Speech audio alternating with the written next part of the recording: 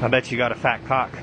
Do what? Said I, I said, look over here. It's Dwayne the Rock. Yeah. Yeah. Yeah.